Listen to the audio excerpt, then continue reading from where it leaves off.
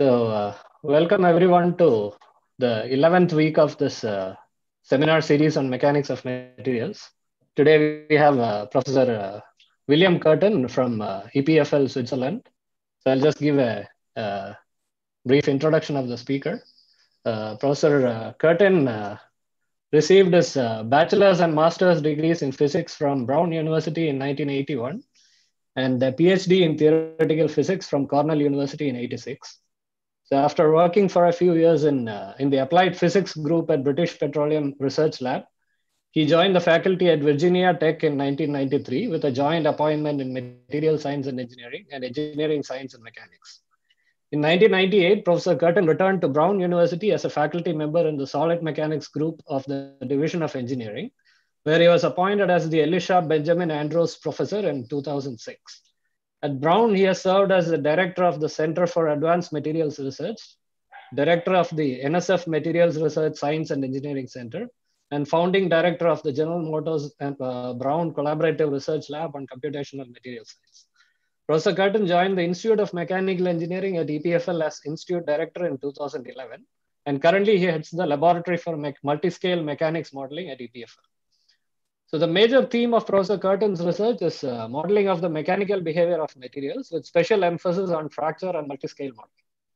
Systems uh, of interest uh, at, uh, that are being investigated include uh, metals such as magnesium and uh, aluminum magnesium alloys, high entropy alloys, as well as various types of composite materials. He has published over 180 scientific papers in peer-reviewed journals and presented many invited talks at national and international venues. So uh, we thank Professor Curtin for invite uh, for accepting our invitation and uh, giving the seminar. Uh, so he'll be talking today about coupling atomistics and discrete dislocation dynamics in 3D. So I'll hand over the floor to Professor Curtin.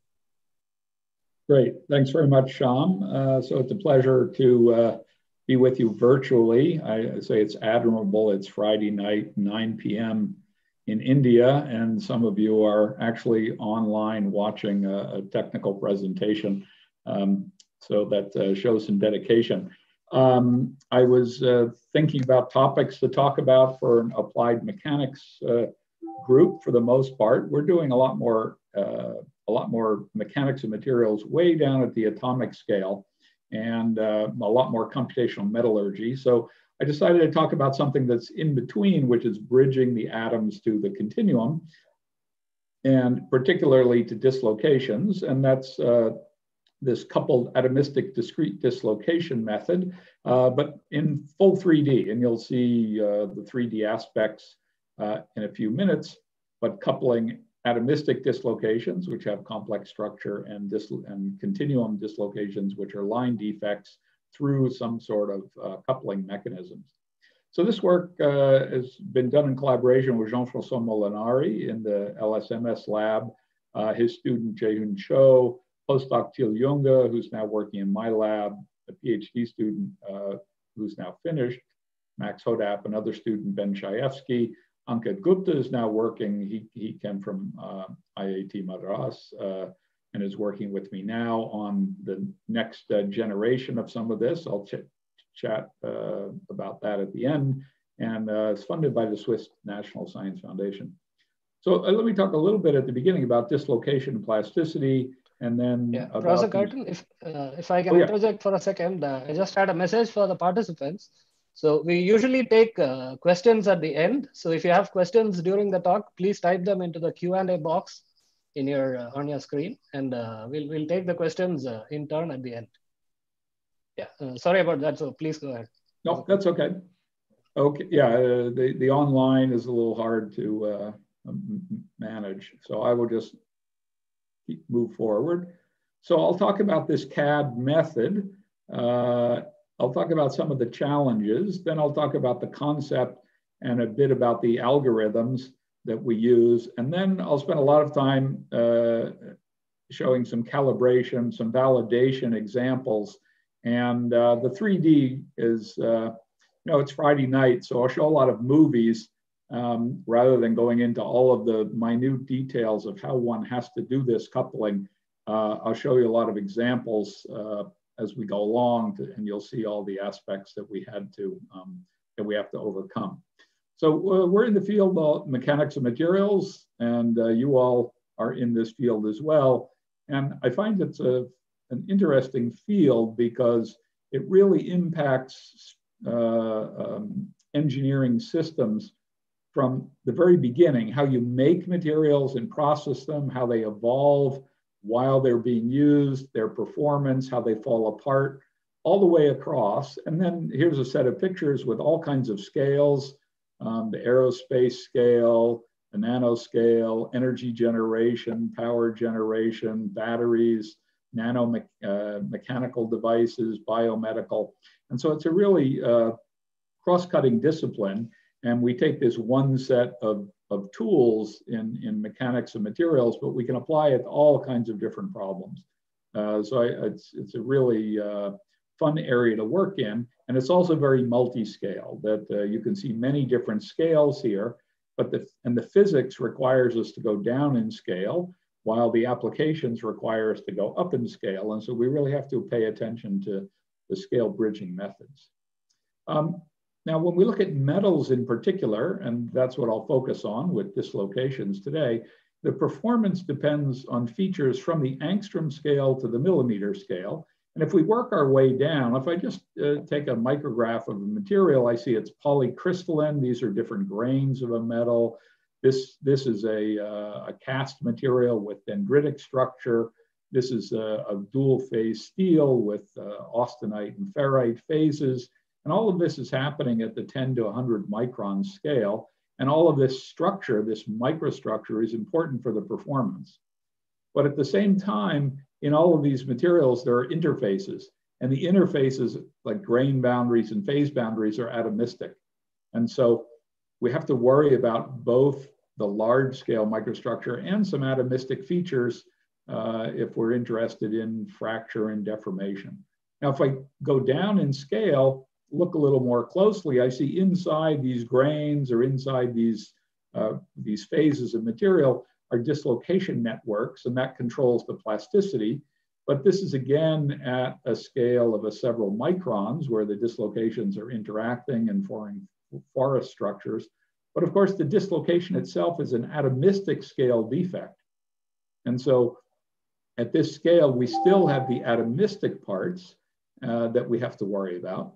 And if I zoom in even more closely and look at an atomic probe uh, um, tomography study, you can see the actual chemistry of an alloy and you see that there can be precipitates, it can be dislocation lines, and now we're down at the nanometer scale.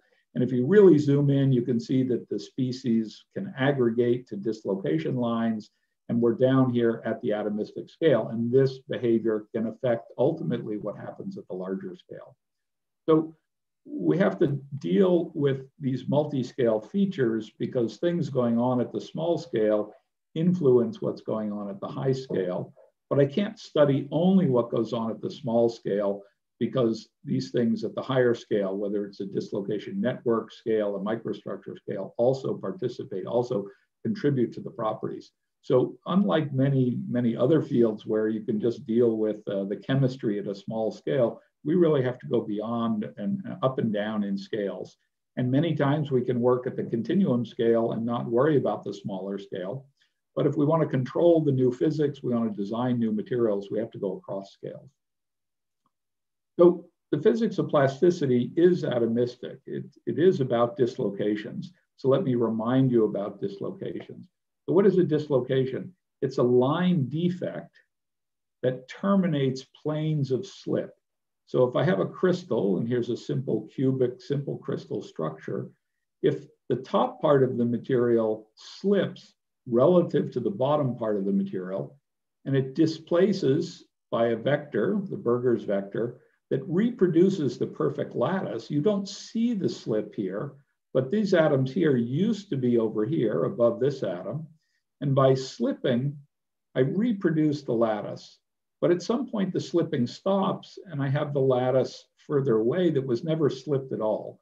And so there's a boundary between the slipped region, which is this gray slip surface, and the unslipped region. And that boundary, the curved line, is a dislocation line.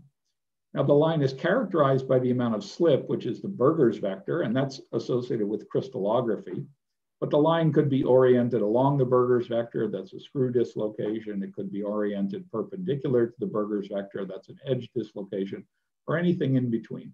But there's this singular line, when we think about it mathematically, a singular line between slipped and unslipped. And I see some of my uh, video, some of my stuff is not uh, is overlapping here. Unfortunately, I'm sorry about that. And uh, so this picture, which is now has the writing behind it, not sure why, uh, shows that if I push on a material, it will deform by starting to form a dislocation. This is an extra plane of atoms, but this is the termination of slip. And then the plastic flow is the slip moving through the material until I get permanent plastic deformation. And so it's the motion of this line defect, which slips the crystal on whatever slip planes I have, that generates what we see as macroscopic plasticity. And so we can describe this dislocation defect at various scales, but the atomic scale details of exactly how I go from a slipped region to an unslipped region, how I transition from slipped to unslipped, that's where the dislocation is. But how that happens, right? those things really set the flow stress for the material and how that transition region interacts with uh, solutes and precipitates and grain boundaries, that determines all the physics of the plasticity. So the atomic details are really important. And if you don't think the atomic details are important for a minute, you might say, well, why are different metals different? Totally different behavior of typical metals is due to their atomic structure. Right? Aluminum is FCC, face-centered cubic. Iron is BCC, body-centered cubic. Titanium is HCP, uh, hexagonally close packed. The, the behavior, the plastic behavior of these materials is totally different because the dislocations are different because the crystal structure is different. The crystal structure is different means the slip terminates in different ways. And so FCC, the dislocations can glide very easily on 111 planes. In, in BCC materials, the dislocations are very, very compact in structure and it's very hard to move a screw dislocation. In an HC material, you have all kinds of slip planes. You have basal planes and prismatic planes and pyramidal planes, and each one of these has a different slip system and they all compete with one another. If you go to a continuum scale, open a textbook about dislocations, it says a dislocation has a Burgers vector. It's a line defect with a Burgers vector. That says nothing about how the slip terminates. And so you have to go into the crystal structure to decide why these metals are different. And at the continuum scale, that's all lost. So there's a lot you can do at the continuum scale, but fundamentally, what's underneath that is some atomic scale structure. So that's why the, the dislocation of plasticity is ultimately um, is ultimately coming from the atomic structure. Now, of course, we can't do everything at the atomic scale, and our motivation is to cover these scales from continuum deformation in a component to dislocation representation, where there are little dislocations in here you can't see, down to an atomistic representation, uh, in fact, even for something like a crack tip, uh, and then possibly even down to the quantum mechanical scale if, if we really need new chemistry in the material. And so we want to be able to cover all of these. And so we need to be able to bridge the scales in plasticity. Sometimes we can do that by taking information from one scale and giving it to another. This is a message passing or a, a um, hierarchical modeling. But sometimes we want to deal with these problems uh, concurrently, all at the same time. Atomistics in one region, dislocations in another, continuum at another, so that we can get the atomistic details. And so we often need to mix these atomistic scale phenomena and some sort of mesoscale phenomena. And here's an example. Um, this uh, picture on the bottom is a cut on the slip plane of an aluminum alloy with these green precipitates in it, or look green, and the, the fields, the red and the blue, are the residual stress fields. And this purple line is a dislocation moving through this material. And it may be cutting the precipitates or looping around them. That depends on the details of the precipitates. But this is a 6000 standard 6000 series alloy, and we're trying to model the plasticity by looking at the dislocations going through. But to understand whether these whether the dislocations will cut the precipitate, which creates a new surface, or we'll loop around it. We have to go down to a smaller scale. And here's an atomistic model that we've just uh, working on of this very complex precipitate. It has a 22 atom monoclinic unit cell. It's a special beta double prime precipitate. And here's an edge dislocation going, trying to go around and either cut through or loop around this, this precipitate. And that's ultimately what's going on down here. And so somehow I have to take this information and embed it in here so that I can follow the dislocation motion. And I could try to pass information from the, from the small scale to the large scale, or I could try to model part of this as continuum and part of it explicitly atomistic at the same time to do something uh, that is in a coupled way.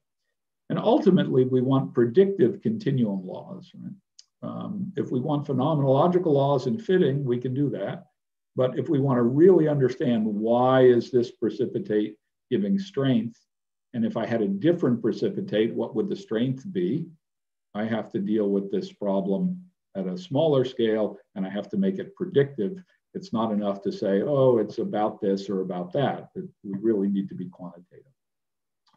So to couple scales between dislocations and atoms, we developed some years ago this coupled atomistic discrete dislocation model for 2D plane strain problems. So the domain can be periodic in the through thickness direction. It's not a 2D problem, but it's periodic and has a plane strain nature. So the atoms can see a little bit of 3D, but everything is pretty much 2D.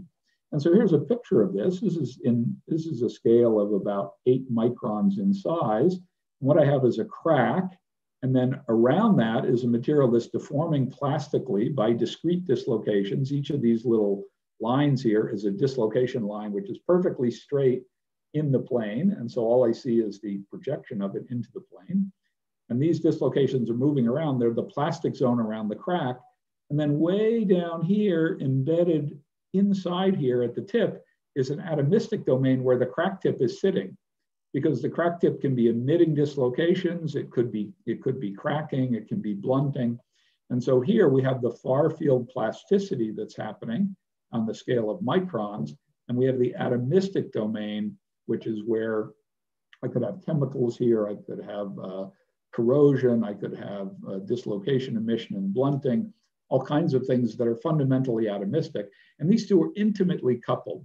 They're intimately coupled through a pad of atoms, this lighter gray set of atoms out here, that these atoms are, are positioned by the solution of a continuum problem out here, dislocation problem, and they then give a boundary condition to the atoms.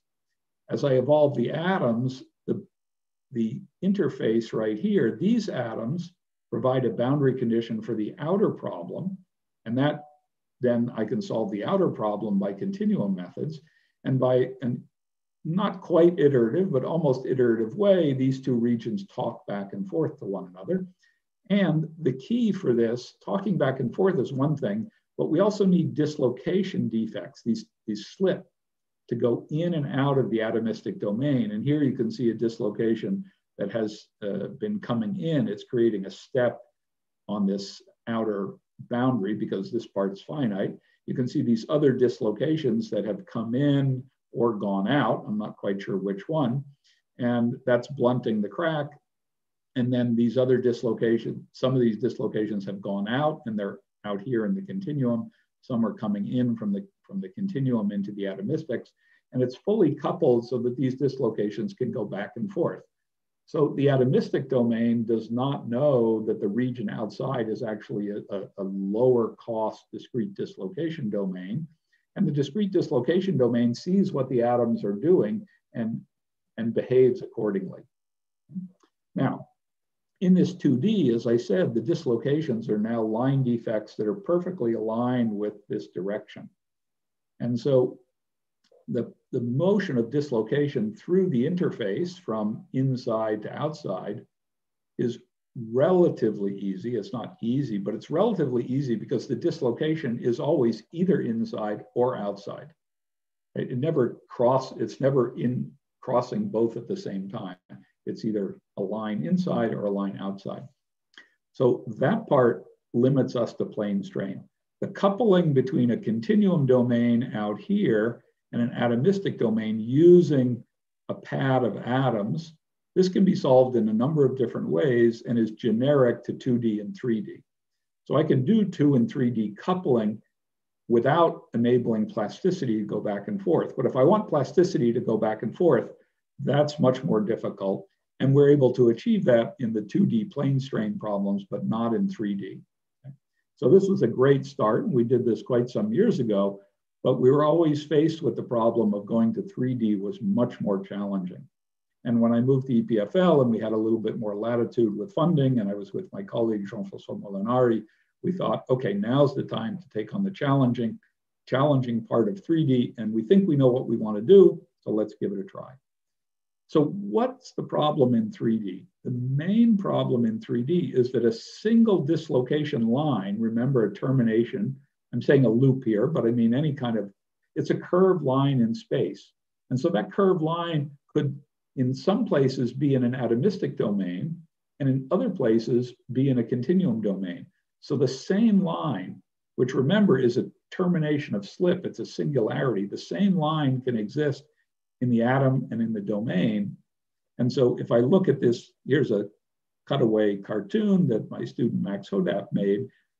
In an atomistic domain over here on the left, the dislocation has some atomistic structure.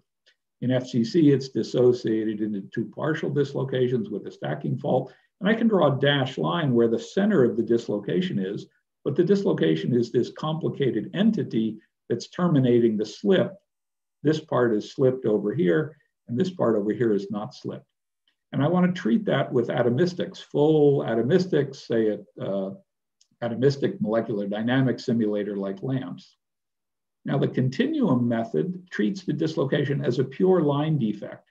It has the Burgers vector, and it has the line that terminates slip from non-slipped region, but it's a line defect. It has no atomistic information. And now I can handle that problem using uh, discrete dislocation methods and the code such as ParaDiS and finite elements to calculate some fields if I need to. But these two methods, the discrete dislocation method and atomistics are totally different and totally different scale of resolution.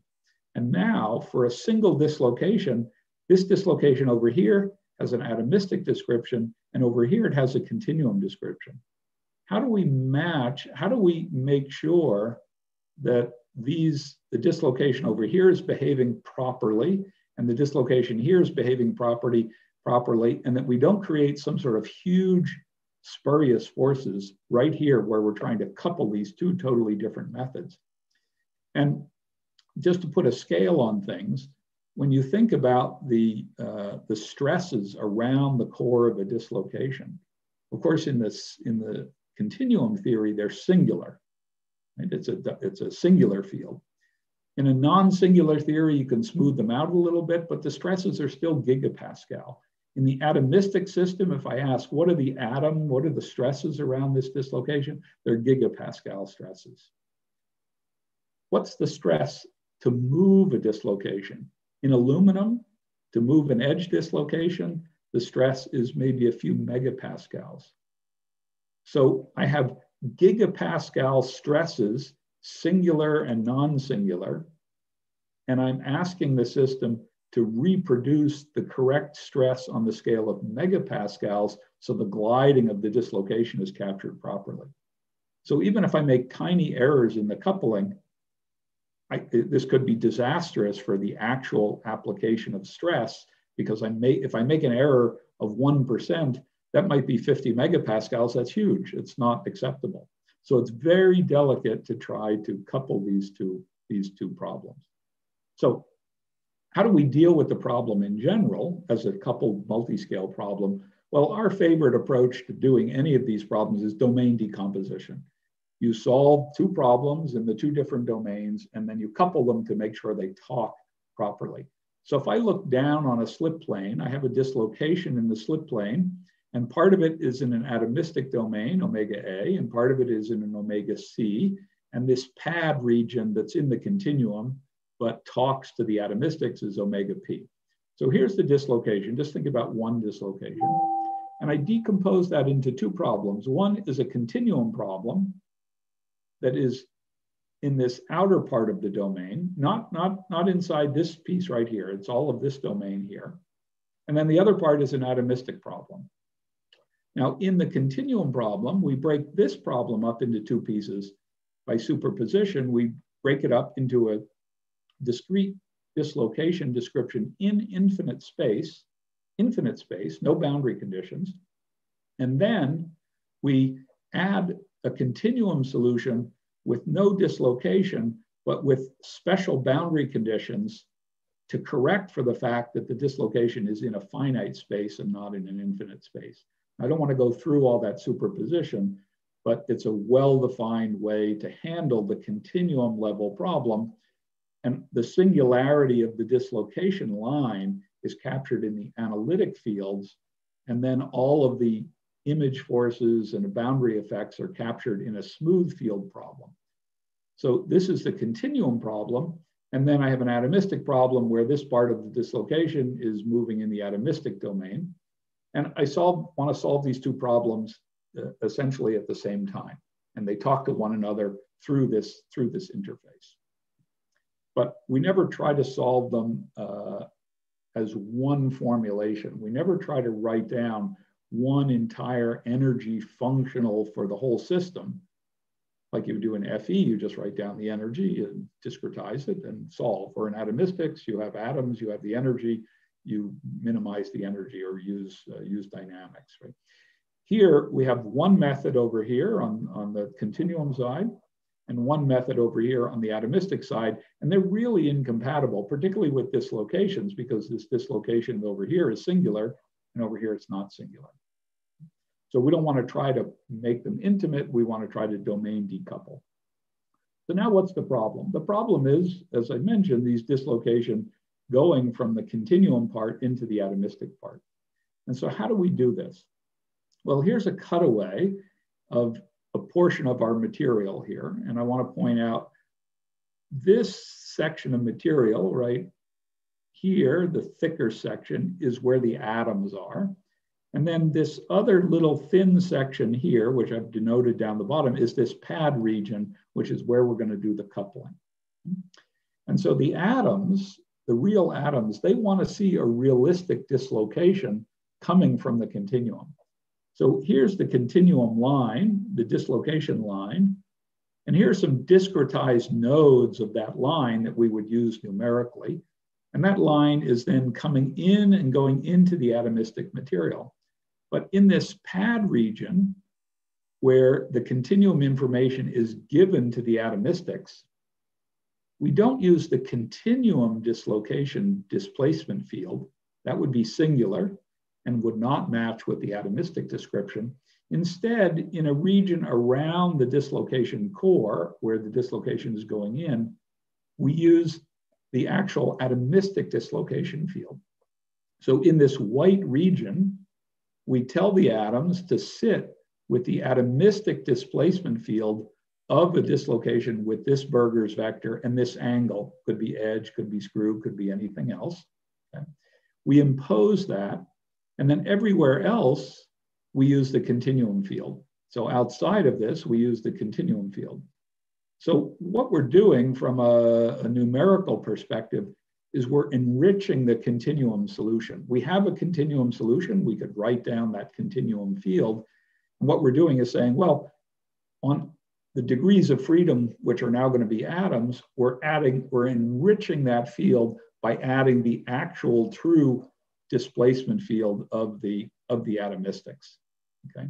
And we really do it as an enrichment. We first use this field and then we use the difference between these fields. But once we add them together, we get the true atomistic field.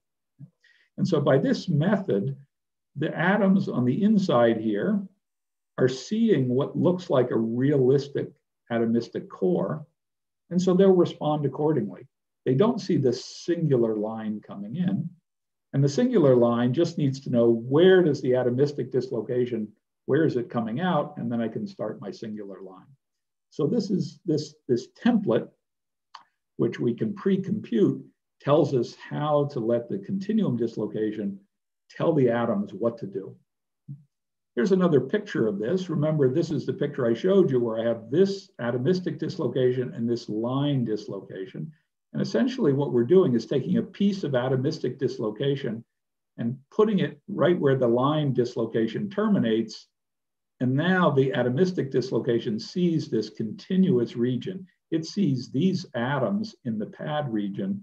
It doesn't see some continuous line or line, which is a singular, singular field it sees a correct representation of the atoms by we impose that right there. Okay. So this makes sure that these atomistic atoms are seeing real atoms, and the line is a kinematics. We just can find where the line is, and the continuum can go on its merry way. So that's the part for how we talk. And then we have to think about an algorithm for advancing the dislocation. So imagine we have a system where we have a continuum dislocation and an atomistic dislocation over here. And initially it's straight and we want to increment the system in time. So we increment the atomistic part and the DD part. Both dislocations move forward, but the interface is fixed. When I move the, when I move the discrete dislocations, they do so with this boundary condition of an interface here.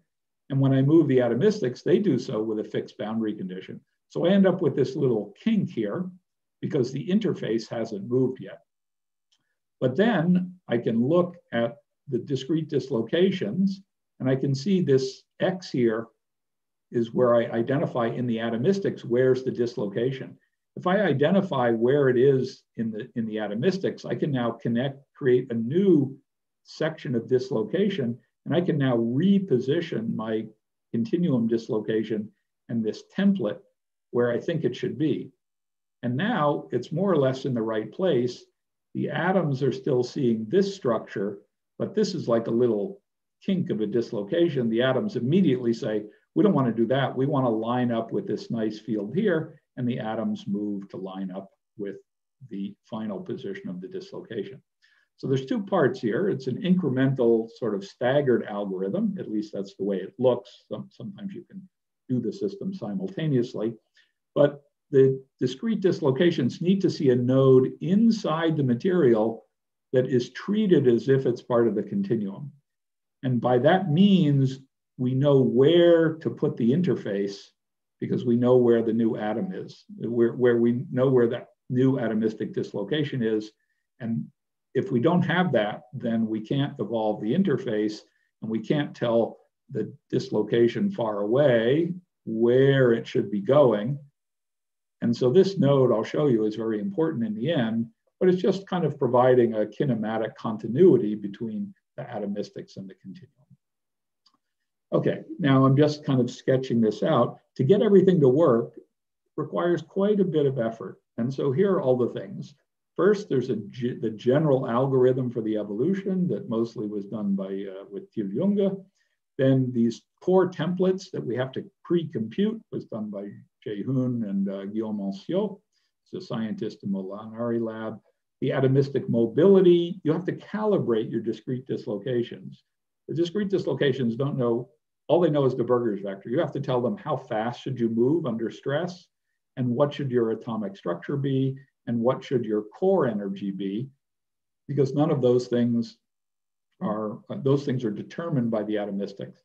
The core energy, that was something that Ben Szajewski worked on. You have to compute the displacement fields and dislocation, uh, the continuum dislocation fields. Another postdoc, uh, Phil Mosley, did that on the side. Then uh, Max uh, Hodapp was doing some validation, I'll show you. Uh, Guillaume Anciaux was involved in all the parallel integrated implementation because we now have two codes and we did this intentionally with open source codes. We have LAMMPS, open source MD code, and we have ParaDiS, an open source DD code, discrete dislocation dynamics code. And we want these two to talk, and we want to use all the parallel uh, uh, ability of LAMMPS to do large atoms sizes and the parallel uh, capability of ParaDiS to do many, many dislocation segments or nodes, discretized dislocations. And so this is quite a bit of work in computer science uh, side of things, which is where Guillaume Anciaux is an expert. And then uh, Jaehyun Cho, as part of his thesis, did increasingly dynamic, complex dynamic problems, which I'll show you. So I'm not going to describe most of these pieces. They're operational, they're subtle, uh, and they require some work, but all of the details one can't go through. And when we write papers, we have it all laid out. Now, the current status is that if you go to a discrete dislocation code, there's really no finite element code. If there is, it's very expensive because it's in 3D to solve the boundary value problem. The atomistic continuum coupling is well established in general, but not the solution of FE in the, L, in the DD code. We're focusing on coupling. We're focusing on having a, a dislocation in the atomistic domain bridge with the, atom, with the dislocation in the continuum domain. So to do that, we can simplify the problem slightly. We can use a hybrid approach where we do a total discrete dislocation problem, and then we use that to inform the atomistics. And then we can solve a dislocation problem in infinite space with no boundary conditions and use that to talk to uh, the atomistics. And so this is good. It's excellent for testing. It's good when we only have dislocations and where the far field boundaries, the remote boundaries don't matter. We have dislocations essentially in infinite space. So we find the dislocations in the atomistics. We discretize all the dislocations, both continuum and atomistics in DDD. We compute the displacement fields of all the dislocations via elasticity. Then we impose those displacement boundary conditions on the molecular dynamics box and then we evolved the dislocation part that's inside the MD by MD. We found it and we set some boundary conditions using continuum, but it really moves by molecular dynamics. And the discrete dislocation system, all of the dislocation parts outside the atomistics move with discrete dislocation dynamics. We have no need to solve a, an outer field problem. So this is a simplification um, because we're trying to establish this coupling part of the problem. Okay, so now let's see how we do. Um, oh, in this hybrid, uh, I'm just describing the hybrid again. We have this infinite space domain problem. We solve this, and then we take the solute, the displacement field of this and impose it on the boundary. And then we let the atoms evolve and we let the DD evolve. So the DD evolves with DD, the atoms evolve with MD, but they talk to one another through a boundary condition. And so over here, we don't have to solve a, a finite element problem because we're not paying attention to this bound. We're treating this part of the boundary. We're saying, yeah, we'll treat this interaction of the dislocation with the continuum. We'll treat this like a continuum part of a dislocation. But we found this dislocation from the atomistics. Okay, so this part of the dislocation came from the atomistics. It just completed the loop here. Okay, so we validate this doing some simple problems, uh, a dislocation which is pinned uh, on a periodic length, and then if you apply a shear stress, it will try to bow out. And we do this in a periodic geometry. And here's an atomistic representation that we can do fully atomistically. And here's a ParaDiS representation that we do solely in ParaDiS. And we make sure that these two match. And that tells us that um, our description in ParaDiS is matching our atomistic description. And so in ParaDiS, you have something called the core energy that you have to calibrate. And we've done that by looking at this bow out problem very simply. The blue line is the continuum under increasing stress, and the green and red is the atomistic dislocation, which is spread out.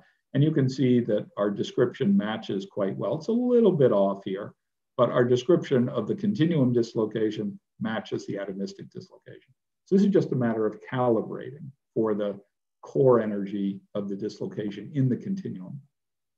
So now let's look at some validation of our method. Now let's see if I can get, um, let's see, I want to get the movie to come up. Let's see if I can, I could get,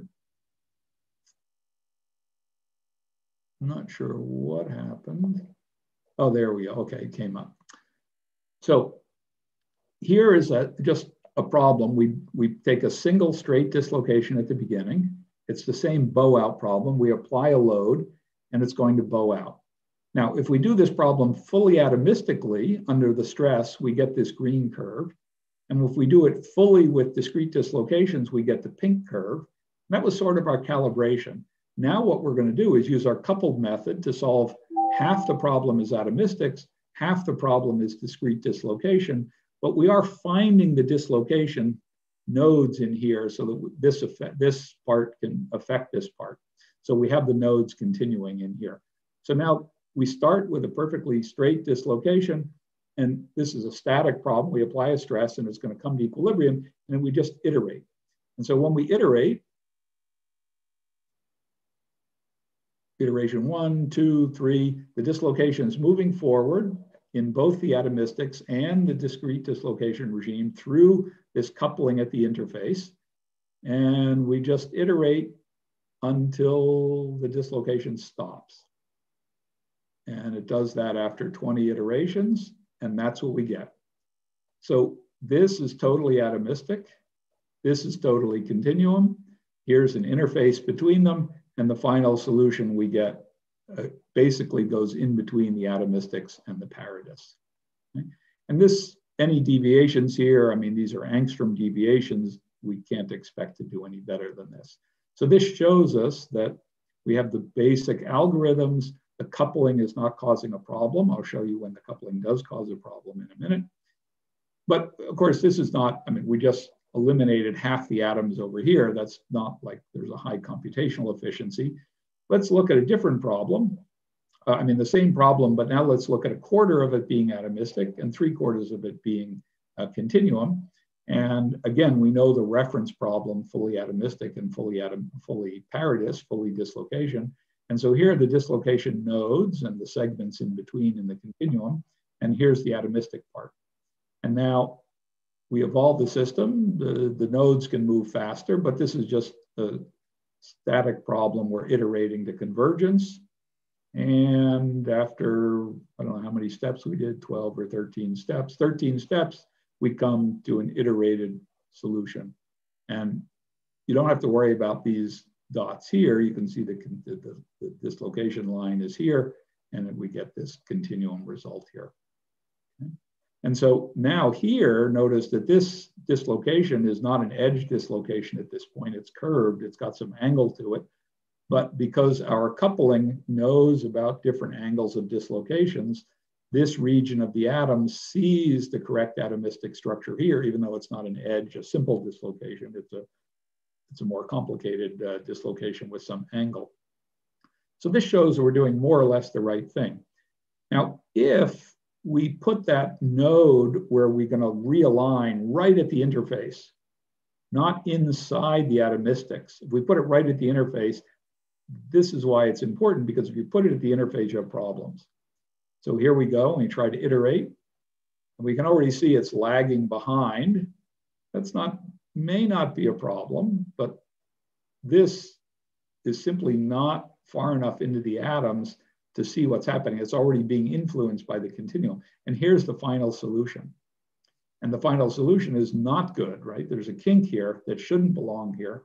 And it's because we put this detection node for, the, for telling the discrete dislocation excuse me, what the atoms are doing, we put it at the interface. And so there are these subtle aspects of the algorithm that we realized in advance and took care of. And then we show here that, of course, if we didn't do that, we'd run into a problem. All right, so let's look at some other problems. Uh, this was our dummy interface at the, at the node. Uh, at, the, at the interface, the dummy node, and it gives us problems. It has to be if I go back here, it has to be just inside. Even if it's just one atomic spacing, that's fine. It just can't be at the interface. So these are algorithmic things, but we want real fidelity and we have to pay attention to this. Okay, so now let's look at some more movies. So let's look at some validation. We have a straight edge dislocation moving through the material.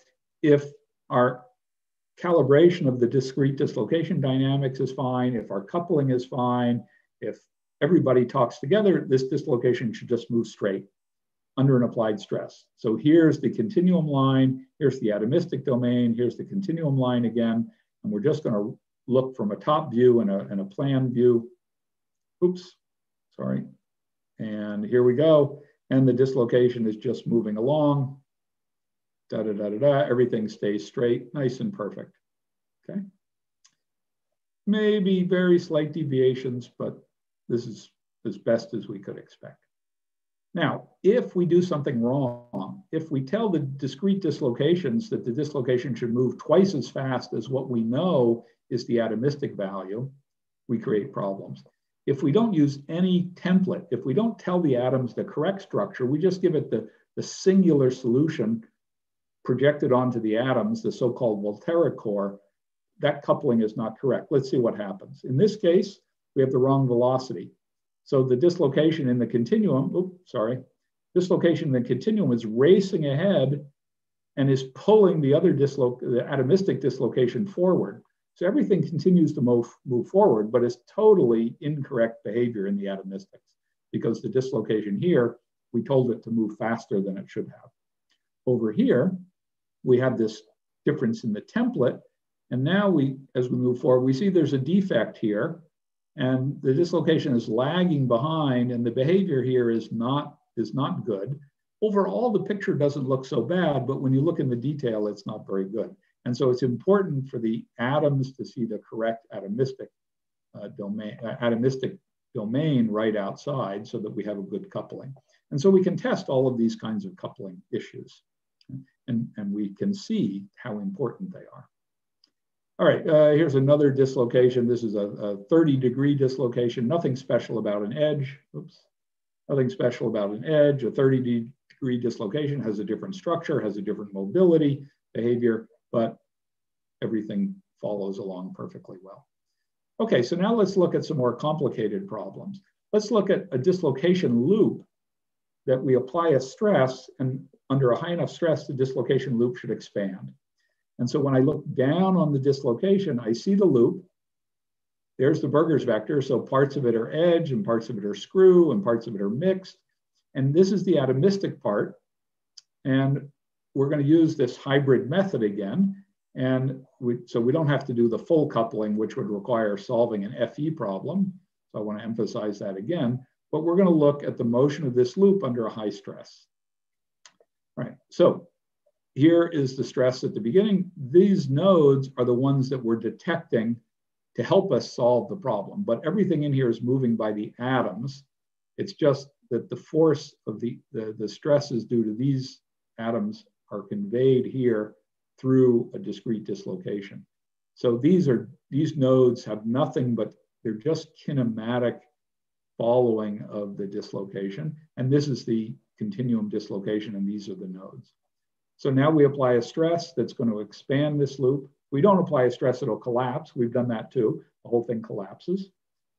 And here, if we apply a stress, the dislocation, the loop is expanding, expanding, expanding. We can see it's getting slightly polygonized. This is because the, the velocity of the dislocation has some character dependence that makes it want to have particular angles. So that's not an artifact of the loop. That's a feature that comes from the atomistics that's being manifested here in the continuum solution.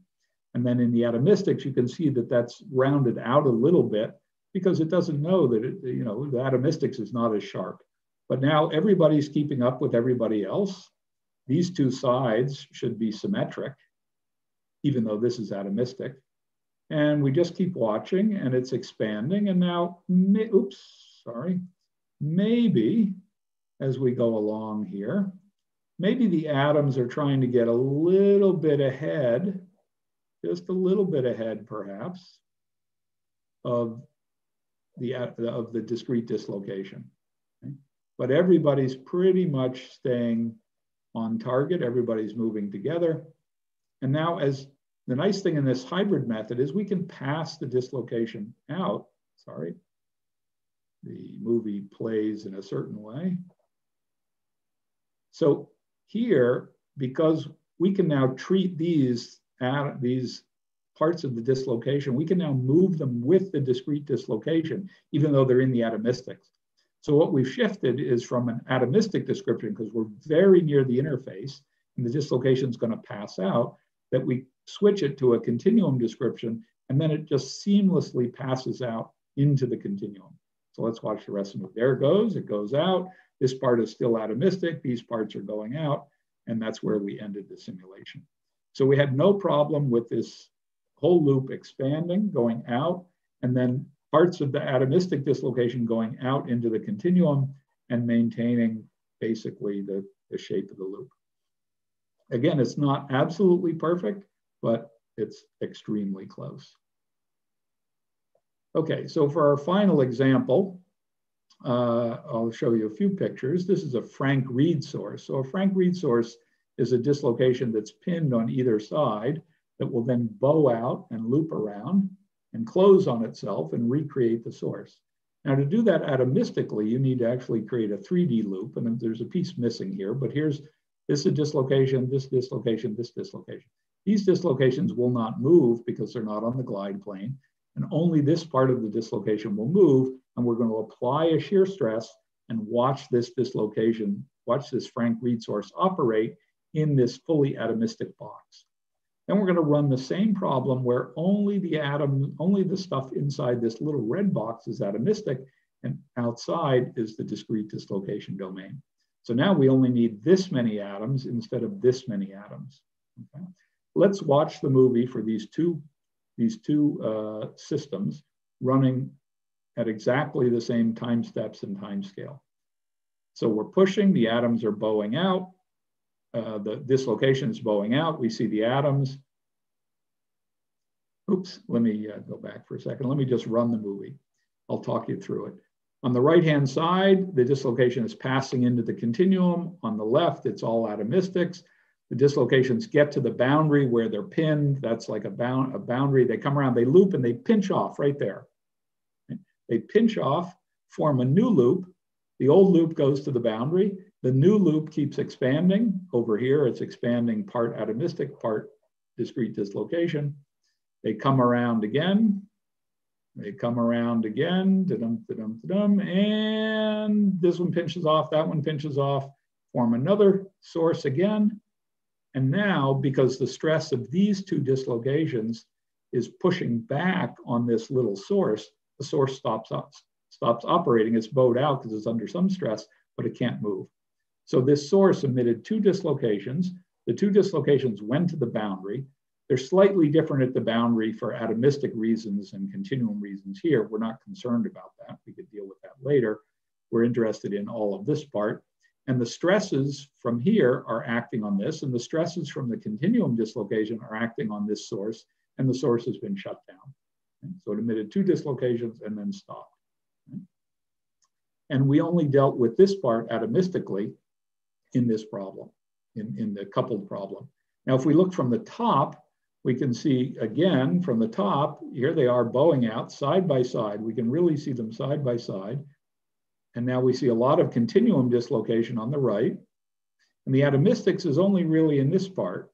And right where they're to pinch off, pinch off, and go out and then operate again.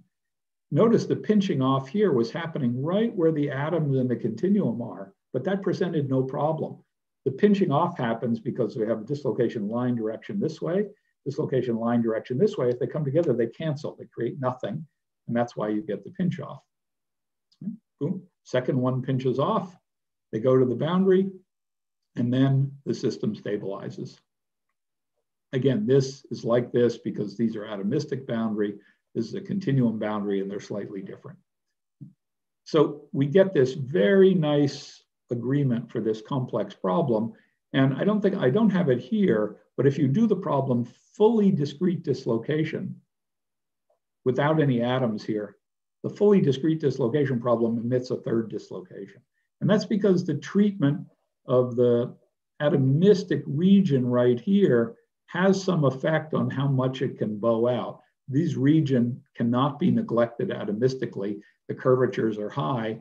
And it emerges that in the discrete dislocation, it just doesn't do that accurately enough to prevent, uh, to prevent a third dislocation from coming out. Okay. Now let's look at a fun one. This is a double Frank Read source. So this section here and this section here can both bow out in opposite directions. So we apply a shear stress, the red one's gonna go left and the blue one to the right. And these are immobile segments here. And this is in an aluminum magnesium. All these green points are magnesium atoms. And then out here is the continuum. Again, we've calibrated the continuum to match.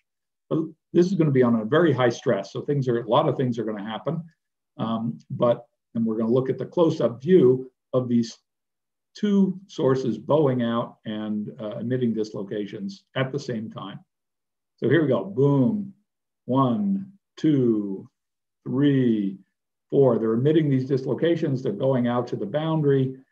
We're dealing only with the atoms and that handles all the nucleation and the looping around and the annihilation and the atomistic dislocation portions that have to be, you can see these things are waving around and the atoms are waving around. And we're getting this huge emission of dislocations out into the continuum because the only important part was, was the nucleation part, the formation part, the pinch off, which where we need the atoms. Okay. And if we look at this now in the whole block, this is now the continuum region. And now you can see we could never do this problem in atomistics. We have no reference for this. We could never do it in fully atomistic. This atom, atomistic box is already pretty big. And now we have this huge domain and we see it operating and it's such a high load that the dislocations are going out and then another one is, is, is coming out right afterwards. And all of this stuff out here are all the continuum dislocations. In fact, there's so many continuum dislocations that computationally the continuum part becomes more costly than the atoms. And so this is how far we've gone. So now we're sending out these dislocation pileup dynamically, all coming from this atomistic source. Again, you could do this in DD, right? but you have to be careful that we're not inter we're interested in problems that are even more complicated than this, and which don't involve um, a uh, um, uh, where the atomistics is more complicated. Okay, we're getting along in time, so let me just uh, finish to tell you. Remember, we did this hybrid method. We didn't solve the full mechanics problem. We really want to solve the full mechanics problem. And so to do that, we need to solve either in the discrete dislocation regime, a 3D finite element solution to get all the correct fields and the boundary conditions. And that is very expensive, solving 3D finite elements. So what we're trying to do is to, is to find an efficient 3D solution using Green's functions. And what we've developed is basically a boundary element method, but we call it the discrete boundary element method because it comes from the atomistics. And so it's intrinsically consistent with the atomistic system. Uh, and so we published one paper uh, on this method, and you have to do a data sparse implementation because there's so much uh, storage. And then Ankit Gupta and Max and I are working on this paper on this discrete uh, boundary element method. So this paper was uh, from uh, last year. So what's the basic idea? I'm just going to sketch it. I'm not going to go into detail. You start out with a fully atomistic system. And let me find my, uh, my, my pointer, laser pointer, okay. And then there's some sort of defects. And I'll show you just a 2D picture. So some sort of defect here, and that you need to preserve atomistically. So that's the region where you want full atomistics. And the rest of this are just atoms deforming pretty much elastically. So you really don't need them. And this is the region you can coarsen. So the idea here is to throw away all the atoms except for the atoms on the boundary.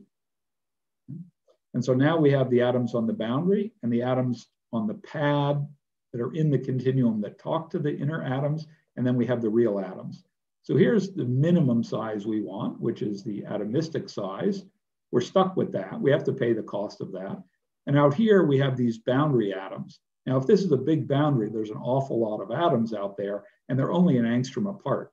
But we want to apply boundary conditions, and we want everything to be consistent between the atoms, atoms out here. The elasticity should be consistent with the, with the uh, description here. And so now what we want to do is we want to coarsen, but first, before we coarsen, we can think about Green's functions. That we can say, how does the displacement or force on a boundary atom lead to displacements and forces on the pad atoms. That's a connection that we can make through the Green's function. Then we have the pad atoms, that if I move a pad atom, it influences a pad atom, and the pad atoms influence the real atoms. And that's also can be made as a connection via a Green's function. Right, a Green's function says if I apply a force on one atom, what displacement do I get on another atom or another point in space? So it's the coupling between forces and displacements through the medium. In this case, the medium is a discrete atomistic system. And so we can get rid of all the degrees of freedom in the middle, all those millions and billions of atoms, and just keep the ones on the boundary and the ones on the inner boundary. So the outer boundary and the inner boundary. And they're connected through, through the Green's functions, which we know for the elastic material. In 3D, we still have way too many atoms on the boundary. And so what we want to do is coarsen that boundary. And that's what Ankit has done successfully. We don't need to keep all the atoms. We can coarsen the problem. And we do that in a kind of a finite element way, coarsening, but we're coarsening the Green's functions. And so we still preserve that if there was a displacement here where there is no atom, but there's a displacement field, we can still convey that information to the system here. What we're assuming on the outer boundary is that the boundary conditions out here are not varying rapidly on the scale of the coarsening, just like any kind of coarsening method that you would use. You can't have uh, a delta function uh, displacement here. You have to have some sort of smooth displacements. But now we have many fewer atoms on the boundary and we make almost no real approximation. You can't tell the difference between the coarsening and the uncoarsened because of the way the coarsening is done, but we have many fewer degrees of freedom. And so the long range interactions are easily coarsened. So how does this talk to this? We know the continuum Green's functions. And then we have the short range results, and we can have a controlled accuracy with the coarsening. And then we can use hierarchical matrices also to control the accuracy. And because the Green's function matrix, which connects different points, whether they're coarsened or not, is a dense matrix, it still requires quite a bit of storage. But if you use a hierarchical matrix, matrix formula, formulation, you can decrease the storage, decrease the accuracy, but in a controlled way that's related to um, the, the nature of the matrices. And this is not unlike a multipole expansion. So this is what we're working on now so we can solve the full 3D mechanics problem everywhere in space with outer boundary conditions and take advantage of all the stuff I showed you that's happening in the atomistics and at this scale. Okay, so uh, this CAD 3D is going to be, right, we're still developing it, a useful computational uh, tool for connecting atomistic domains where you have to keep the atoms to a larger domain, particularly where there's dislocation plasticity going on. We have the general methodology and the algorithms developed. We know how a continuum dislocation can talk to an atomistic dislocation using this template. Um, we have calibration and we have new approach to accurately calibrate atomistics and discrete dislocation dynamics for the core energies, even better than what I showed you. And we have this general implementation, and I showed you a lot of test problems of increasing complexity, dislocations emitting, passing from the continuum from the atomistics to the continuum. And now we're working on this efficient Green's function method as the final step to solve full 3D problems without using uh, FEM methods that are just far too expensive computationally and storage wise. So we're almost there, uh, achieving our goals for a robust, validated, and general 3D method for coupling atoms to a continuum with dislocations going back and forth between the, between the two phases. With that, I'll stop and we can take questions. Thanks for your attention. Sorry to go on a little bit long. I tend to speak a little more slowly uh, when there's no, no people to look at because I'm afraid people get lost. If I see you in person, I can see you're lost or I can see you're not lost. Thanks very much. Yeah, thanks, Professor Curtin. Yeah, uh, it was a very interesting talk. So uh, I, I think we'll take questions now. We have a couple of questions already in the Q&A box, which okay. I can relay to you. The first question is from Kais Ali. So he's asking, uh, this is, I think, regarding the uh, the Frank Read source operation that you showed. Yep. He was asking like what material system it is, like what kind of a. Oh, uh, sorry about that. Right. So, material. so uh, this material is is aluminum, uh, using what's called the Ercolessi-Adams uh, interatomic potential for aluminum. And one of the reasons we use aluminum is because aluminum is very isotropic. And the current discrete dislocation methods are mainly organized for isotropic uh, dislocations. And so we use a system where the material is largely isotropic. So this is aluminum. We could have used anything else. And here we actually used an aluminum magnesium alloy. And out here, the continuum is a, uh, an averaged value of this alloy quite precisely. In this material, we can actually make quite isotropic. Okay, uh, so uh, guys, if you have a follow-up question, you can uh, type into the Q&A box. And uh, I have another question from uh, Rajat Pratap Singh. So I think uh, it's it's best if we can ask the question directly. So Rajat, uh, I'll allow you to talk on. Uh, I'll, uh, yeah, I have, I have allowed you to talk. So if, can you unmute yourself and ask your question? Yes. Um, yeah. Yeah, I can, I, can hear Thank you for your talk. Yeah. So my question is why we are not using like a coarse graining at the interface between uh, atomistic and discrete dislocation. Like if we can right. use uh, adaptive coarse graining, which increase its size of cell as we go far from the, the atomistic cell, then it would be more accurate, I think. Though the mm. computational cost will increase, but uh, the accuracy would be more, in my opinion. So, so there, there are two parts to the question. Uh, or two aspects. The first is for accurate continue for accurate atomistic continuum coupling. Um, say even way back here, you have to mesh the problem down to the atomistic scale. If you don't do that, you just start introducing errors in the coupling right away. Because you you have some deformation gradient here, you're trying to match it here. As a dislocation comes toward the interface, it's deforming the material. If you coarsen that, then you're out of luck, right? Um, you and we can show that. And so you cannot really, you really have to start at the interface level by coarsening atomistically. Okay? Now, this picture that I show here in 2D, right, is showing, let me see if I can blow it up. In 2D, indeed, uh, I have to blow it up, but then make it smaller. uh, and I can't move it around because I don't have the cursor.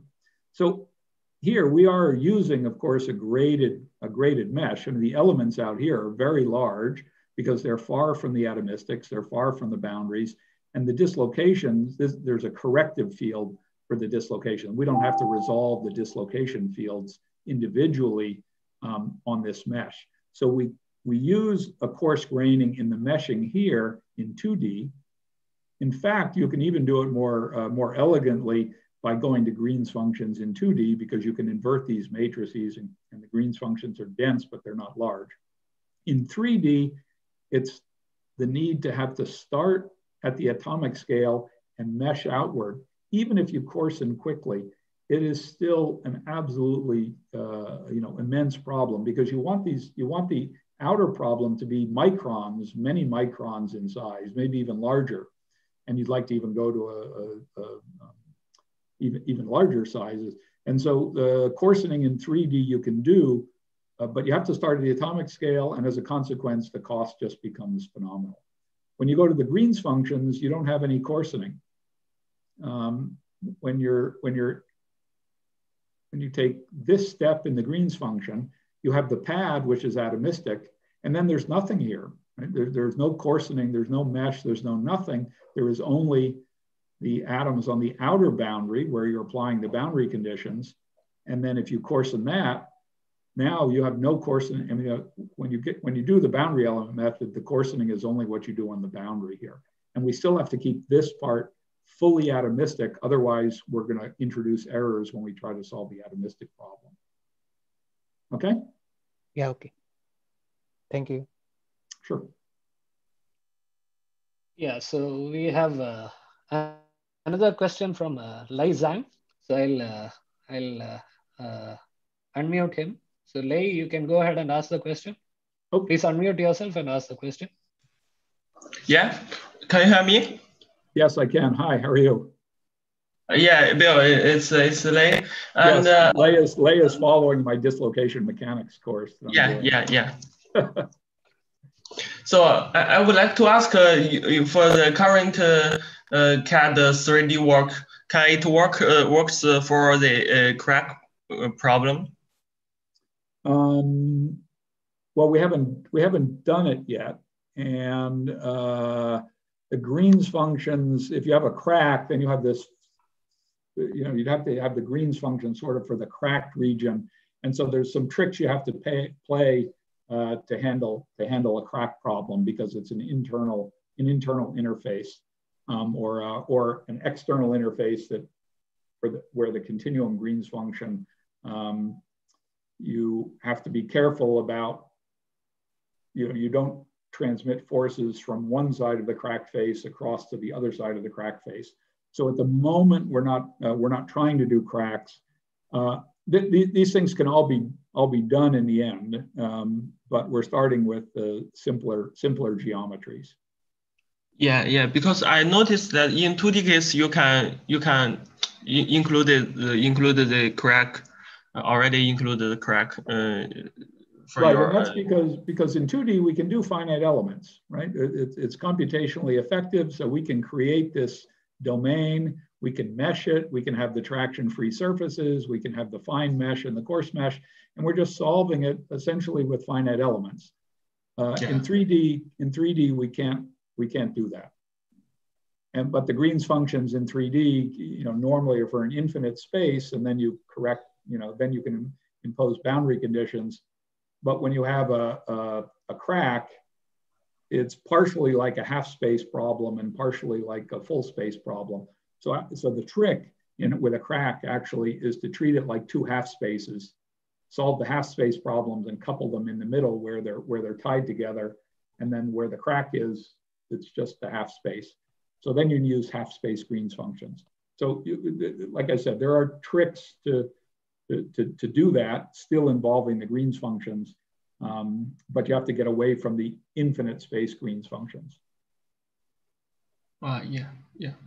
Thanks, thanks for your uh, answer. Yep, sure. Thank you. Okay, so there are no more questions in the Q&A box. If anybody else has a question, uh, can you raise your hand? Or okay, there is another one from uh, uh, Kais Ali. So I think I'll unmute him so that he can ask the uh, question. Kais, I have uh, allowed you to talk. Yeah, thank you very much. And thanks, another, Professor another person for, following my class. Hi, Kais. Yeah, hi. And so thanks for answering the question previously about aluminum system which you are studying. I was wondering like, uh, so in one of your slides, you show that uh, interface is fixed. And uh, I'm not sure whether I'm going in right direction, but are we capturing the microscale information in particular if the interface is movable or grain boundary, move, moving grain boundary, for example, while at the same time we're coupling atomistics with a continuum scale. Yeah. So, um, so I tend to think of problems uh, with fixed interfaces. Moving the interfaces is, is more of a uh, algorithmic issue than an oper- than a than a fundamental issue. Um, because if I look at again the 2D problem, there's lots of lots of these kind of questions that that one can address in 2D. So look at this 2D problem. If I want to make the atomistic domain here bigger, right? Well, I already know the displacement field out here in the continuum. And I know what it is from the continuum solution. So I can just add atoms and make my atomistic size bigger and put the atoms in exactly the correct positions and create a new pad domain out here. Do you see my cursor? I think so. Yeah, I can see. Yeah. Okay. Sorry, it's waving around a little bit. And so, in fact, it's easy to uh, easy conceptually to add atoms to the system. And if I want to subtract atoms from the system, that's easy too. I just keep some of the atoms as nodes for the finite element. I throw away all the other ones, and then I have the atoms and I have their position, I have their displacement, and I've made the atomistic system smaller. Now, and so doing the uh, um, on, you know, doing this on the fly in an integrated way is is quite difficult um, uh, algorithmically, and so um, my preferred situation is to think of setting up a set of problems at different sizes to begin with, And then when the size I have isn't big enough, I just take all that information, import it into the bigger size problem and, and run that problem. I don't have to make this one into that one. I just extract all the information, all the, all the displacements of all the atoms, all the nodes, all the positions of all the dislocations, take it, import it into the bigger problem, no, and no problem. And so uh, it's, it's like a poor man's uh, uh, um, refinement problem, but it, it's, uh, avoids all of the algorithmic stuff of moving.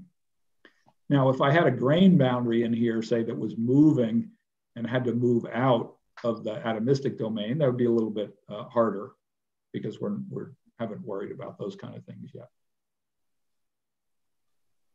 Right. Thank you. Okay. So thanks for the question. Uh, is there any other question from the audience? Uh, there is. Uh, I don't see anything else in the Q and A box. If you have a question, please raise your hand. Again, it's okay. Admiral Francisco has a question. Oh, okay. Ten o'clock at night, Friday night. well, it's ten. Yeah, uh, yeah, ten o'clock for you. Yeah. Somebody had a question. Yes, go ahead. Yeah, Francisco has a question, so I'll uh, I'll unmute him. Francisco, go ahead. Can you ask the question? Francisco, are you there?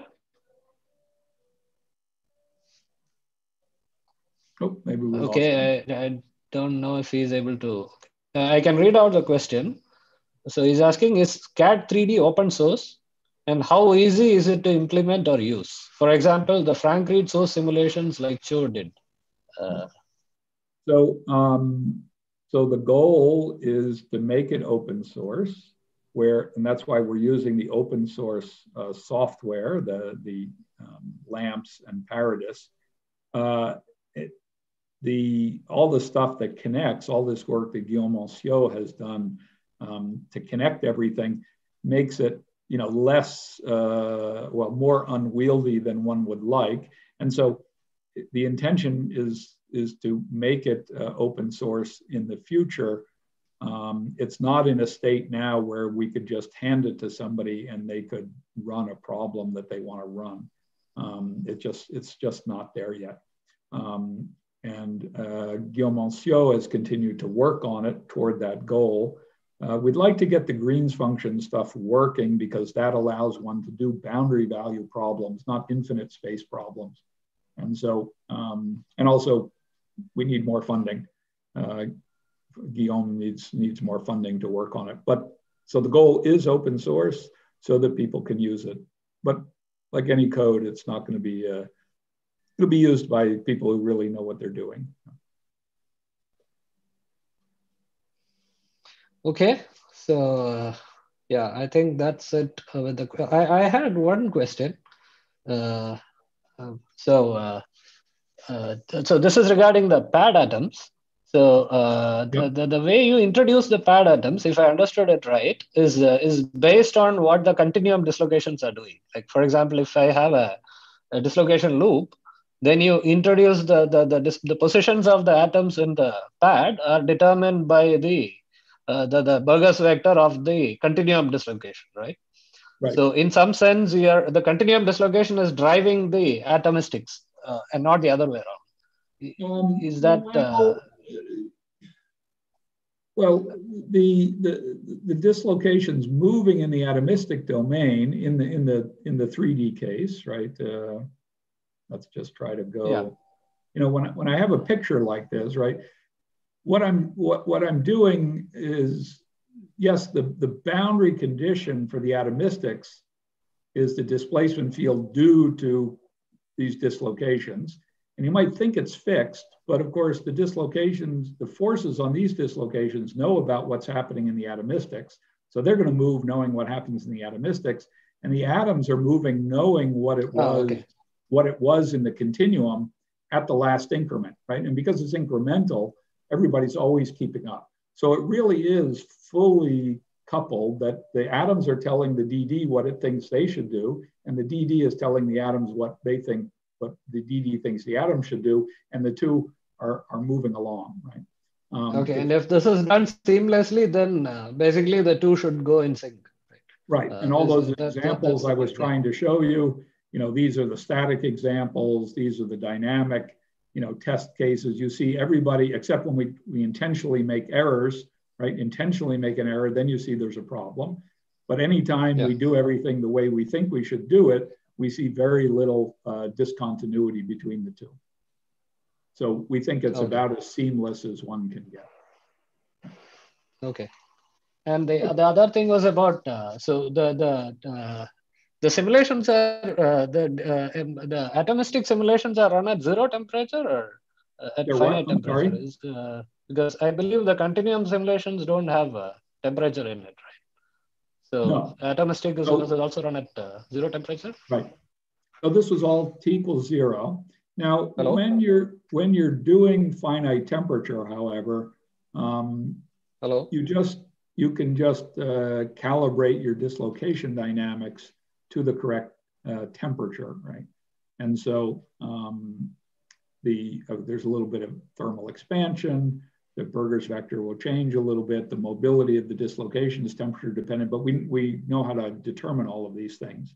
And so I think of it as, as, as in principle isothermal.